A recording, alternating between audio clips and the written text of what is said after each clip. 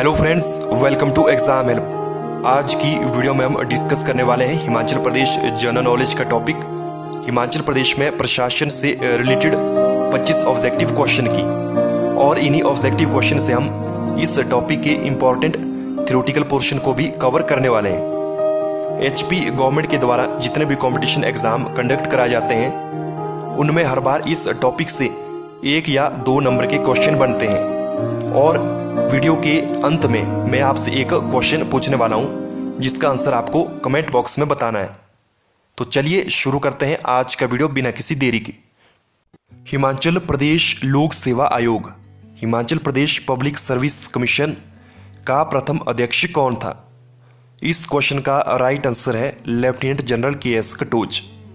Lieutenant general K S Katoch Himachal Pradesh लोक सेवा आयोग के प्रथम अध्यक्ष थे। इसके अलावा हिमाचल प्रदेश लोक सेवा आयोग की स्थापना उन्नीस सौ इकहत्तर को की गई थी और इसका मुख्य कार्य प्रशासनिक सेवा की परीक्षाओं का आयोजन करना है। हिमाचल प्रदेश अधीनस्थ सेवा चयन बोर्ड हमीरपुर के प्रथम अध्यक्ष कौन थे? तो देखिए, Himachal Pradesh staff selection commission के प्रथम अध्यक्ष के सी मल्होत्रा थे। और Himachal Pradesh staff selection commission की स्थापना उन्नीस सौ अट्ठानवे को की गई थी और इसका मुख्य कार्य क्लास थ्री की नियुक्तियाँ करना है। उन्नीस में गठित हिमाचल प्रदेश लोकायुक्त का पहला लोकायुक्त किसे नियुक्त किया गया? इस क्वेश्चन का राइट आंसर है न्यायाधीश टीवीआर टाटाचारी। न्यायाधीश टीवीआर टाटाचारी को उन्नीस में गठित हिमाचल प्रदेश लोकायुक्त का पहला लोकायुक्त नियुक्त किया गया था। हिमाचल प्रदेश का उच्च न्यायालय निम्न में से किस शहर में है? इस क्वेश्चन का राइट आंसर है शिमला। हिमाचल प्रदेश उच्च न्यायालय शिमला शहर में स्थित है और हिमाचल प्रदेश उच्च न्यायालय की स्थापना उन्नीस को की गई थी और इसके पहले मुख्य न्यायाधीश थे मिर्ज़ा हमीदुल्ला बेग। उन्नीस सौ इक्यावन बावन में हुए भारत के पहले आम चुनाव में मतदान करने वाला पहला व्यक्ति कौन था? इस क्वेश्चन का राइट आंसर है कल्पा के श्यामचरण नेगी। उन्नीस सौ इक्यावन बावन में हुए भारत के पहले आम चुनाव में मतदान करने वाला पहला व्यक्ति कल्पा के श्यामचरण नेगी थे। 15 अप्रैल उन्नीस सौ अड़तालीस हिमाचल प्रदेश का गठन हुआ था। तो उस समय इसमें कितने ज़िले थे? इस क्वेश्चन का राइट आंसर है चार।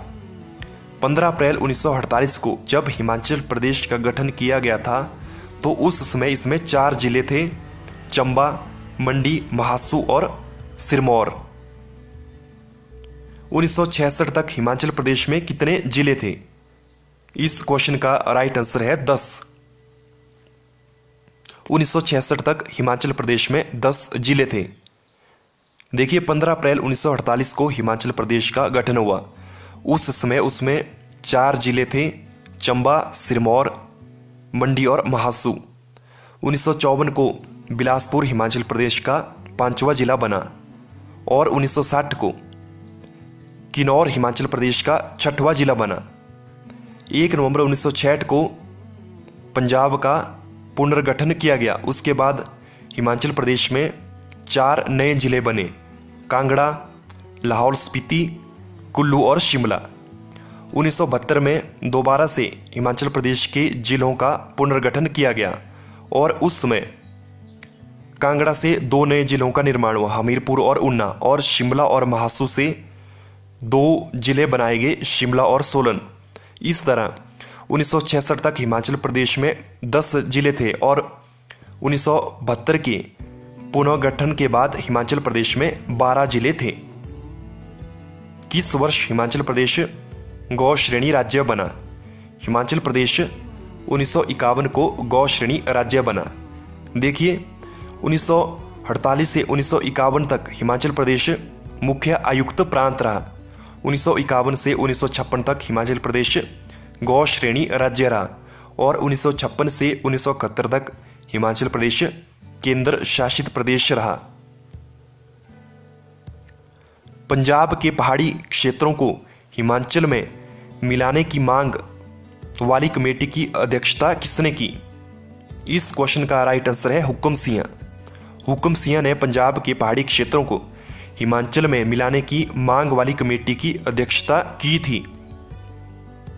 1948 में, जब हिमाचल प्रदेश बना तो उसमें शामिल होने वाली सबसे छोटी रियासत कौन सी थी क्षेत्रफल के आधार पर?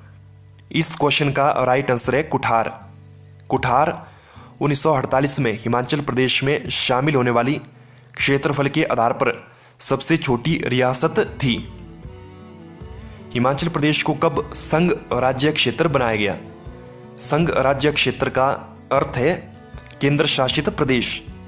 हिमाचल प्रदेश को 1 नवंबर 1956 को संघ राज्य क्षेत्र बनाया गया था।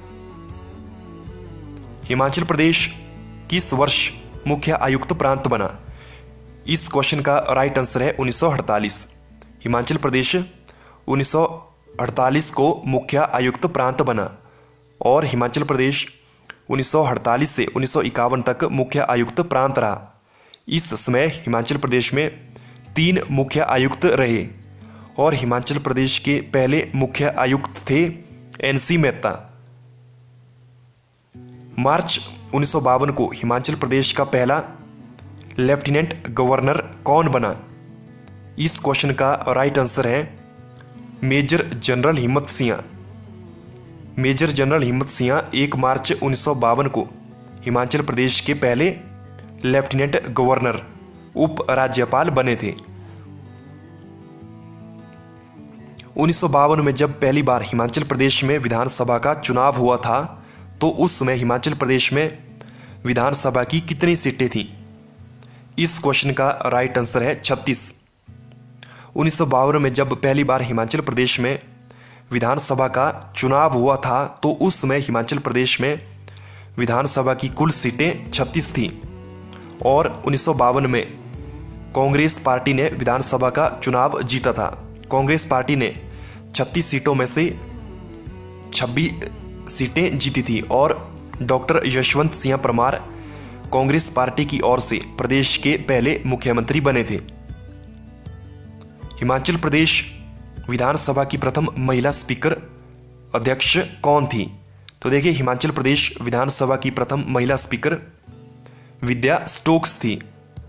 इसके अलावा चंद्रेश कुमारी हिमाचल प्रदेश की प्रथम महिला थी, जिसने राज्यसभा और लोकसभा दोनों सदनों में हिमाचल प्रदेश का प्रतिनिधित्व किया था।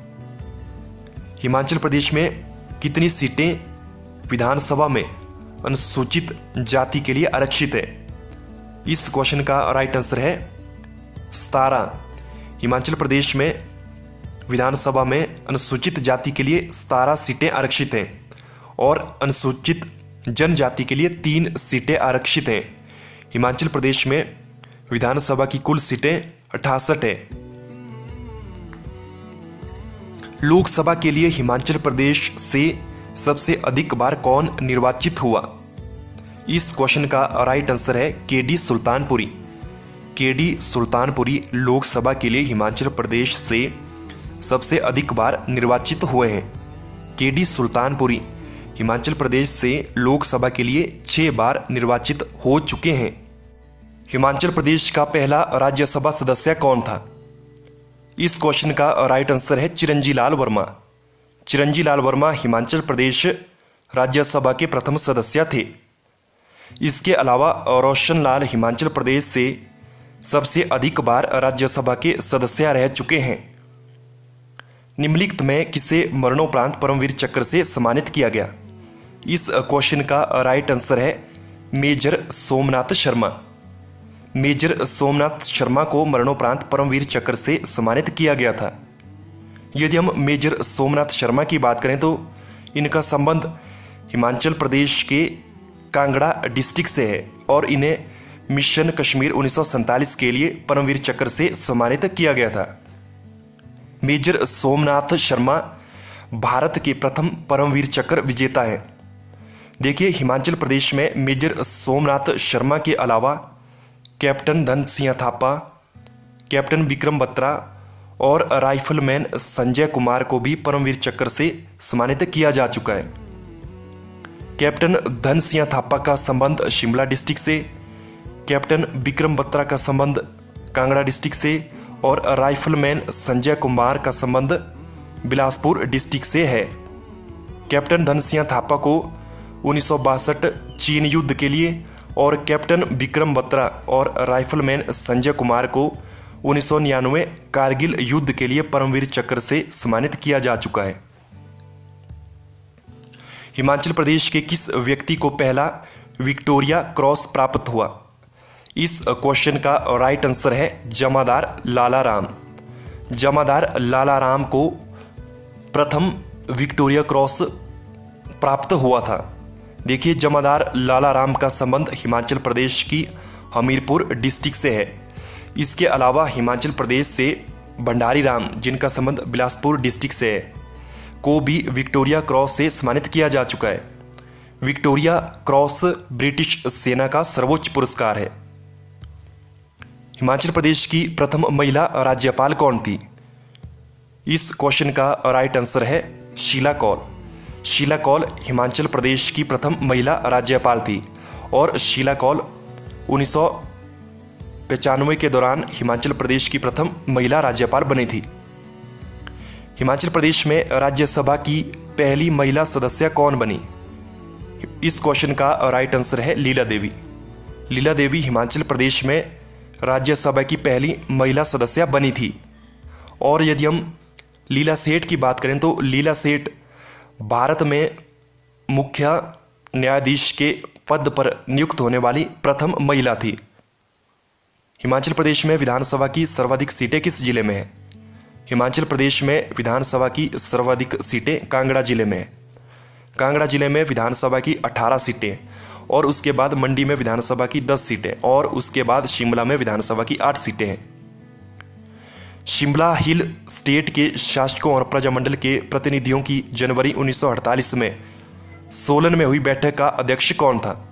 इस क्वेश्चन का राइट आंसर है दुर्गा सिंह। दुर्गा सिंह शिमला हिल स्टेट के शासकों और प्रजामंडल के प्रतिनिधियों की जनवरी 1948 में सोलन में हुई बैठक के अध्यक्ष थे। तो देखिए, इस बैठक में हिमाचल प्रदेश का नाम रखा गया था। शिमला में निम्नलिखित में से किसका मुख्यालय है? ऑप्शन है पश्चिमी कमान, उत्तरी कमान, आर्मी प्रशिक्षण कमान, इनमें से कोई नहीं। इस क्वेश्चन का आंसर आपको कमेंट बॉक्स में बताना है। आज की वीडियो में हमने बात की हिमाचल प्रदेश जनरल नॉलेज के टॉपिक, हिमाचल प्रदेश में प्रशासन से रिलेटेड 25 इंपॉर्टेंट ऑब्जेक्टिव क्वेश्चन की। यदि आपका इस वीडियो से रिलेटेड कोई भी क्वेश्चन है, कोई भी सुझाव है, आप कमेंट बॉक्स में कमेंट कर सकते हैं। यदि आपको ये वीडियो पसंद आया है तो इस वीडियो को लाइक करें और अधिक से अधिक शेयर करें। यदि आपने इस चैनल को सब्सक्राइब नहीं किया है तो इस चैनल को सब्सक्राइब कर लें ऐसे ही वीडियो का फ़ायदा उठाने के लिए। आज के वीडियो में बस इतना ही। थैंक्स फॉर वॉचिंग जय हिंद, जय भारत।